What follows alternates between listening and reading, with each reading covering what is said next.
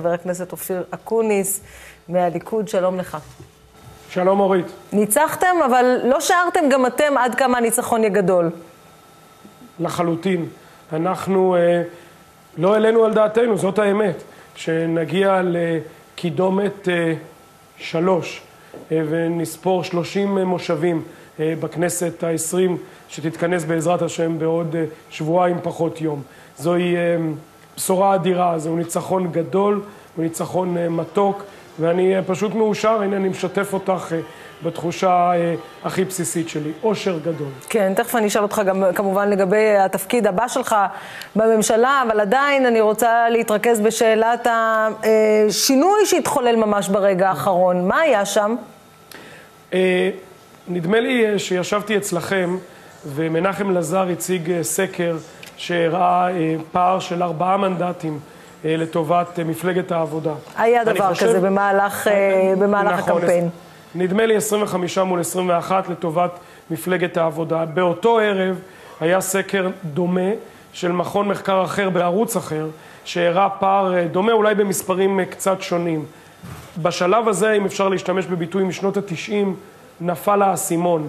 לרבים רבים, למאות אלפים, כפי שאנחנו רואים, של תומכי המחנה הלאומי בכלל ותומכי הליכוד בפרט, שאם משהו גדול מאוד לא יקרה כאן, אז היום בבוקר, היום הזה, עלולה הייתה לקום בישראל ממשלת שמאל אה, בהובלתו של אה, יצחק הרצוג וציפי לבני.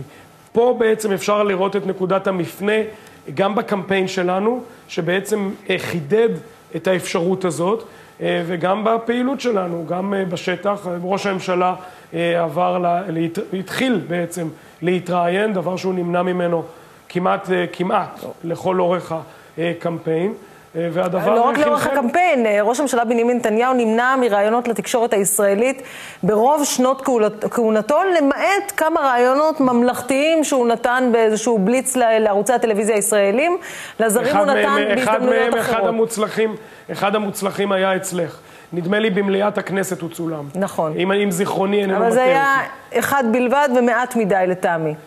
יכול להיות שהמסקנה היא שראש ממשלה אה, בישראל צריך אה, להתראיין יותר, ואני מעריך, מאמין ומקווה שכמו שהבטחנו שינוי בסדר העדיפויות, העלאת ענייני הדיור, החברה והכלכלה לראש סדר העדיפויות, לא על חשבון הביטחון אגב, אלא במקביל לענייני הביטחון, יכול להיות שכדי לבוא לבחירות אה, מוכנים יותר, במצב טוב יותר מהמצב שהתחלנו אותו, את הקמפיין, צריך באמת לדבר יותר עם הציבור. אז אני רוצה לשאול אותך על, על שני כוחות ששמענו uh, אתמול פועלים. אחד, את הקריאה של נשיא המדינה, ואי אפשר לזלזל כמובן uh, בקריאתו של נשיא המדינה לממשלת האחדות. זה כשהתפרסמו תוצאות המדגמים בערוצי הטלוויזיה השונים גם uh, אצלנו, והתוצאות הסופיות הן כמובן שונות ממה שהתפרסם אתמול. והדבר השני, הקריאות של פעילי הליכוד אתמול uh, בגני התערוכה, שאמרו לא לאחדות.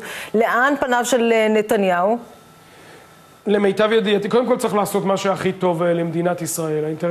מי מבטא טוב יותר את טובת מדינת ישראל, נשיא המדינה אז, או פעילי הליכוד? אז, אז נחלק את התשובה אה, לשני חלקים. אני חושב ש... אה, אני בדרך כלל באופן אישי תומך ברעיון של ממשלות אחדות, משום שאני חושב שהאתגרים שמדינת ישראל עומדת בפניהם הם אדירים, גם בתחום הביטחוני וגם בתחום הכלכלי-חברתי. נדמה לי שכרגע, נכון להבוקר, עוד לפני שכבוד השופט ג'ובראן אה, מחר יודיע, או בעצם כמעט על התוצאות, או לא, מחר בערב יודיע על התוצאות הסופיות, נדמה לי שנוצרה סיטואציה שבה הציבור רצה, על פי תוצאות הבחירות, לא על פי תוצאות המדגמים, אה, ממשלה שבה תהיינה שותפות מפלגות המחנה הלאומי, ובתוכן ובמרכזן מפלגת הליכוד. אם מפלגת העבודה, ואולי מפלגות אחרות, תקבלנה את קווי היסוד שאנחנו ננסח בשבועיים או בשלושה הקרובים, ערב השבעתה של הממשלה הבאה, אז אפשר יהיה לשקול את זה, אבל לרגע זה... תהיה פנייה כזאת קש... בכלל להרצוג? לרגע זה קשה לי לראות תסריט של ממשלה עם מפלגת העבודה.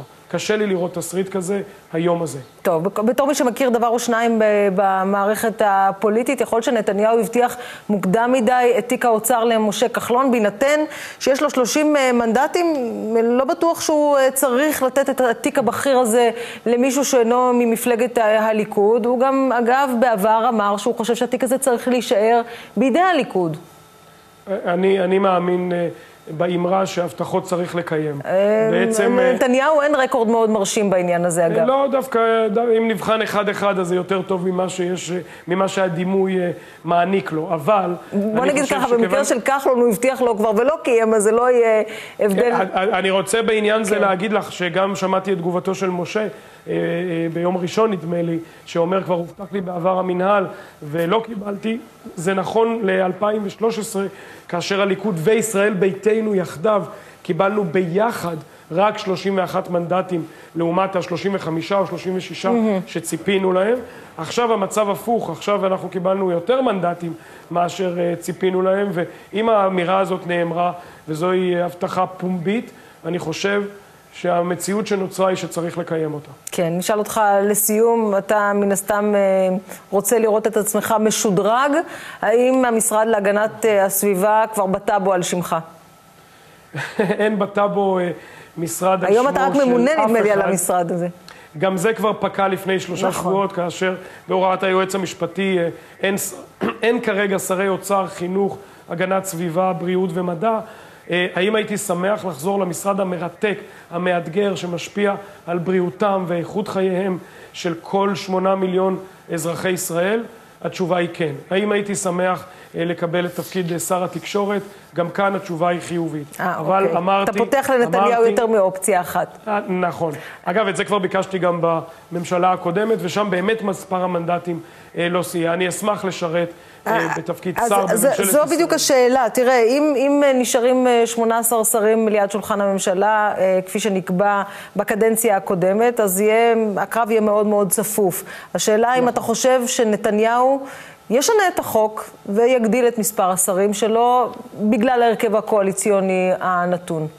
למיטב ידיעתי, נכון לשעת צהריים זו, היום, ה-18 במרץ 2015, אני לא מכיר כוונה כזאת.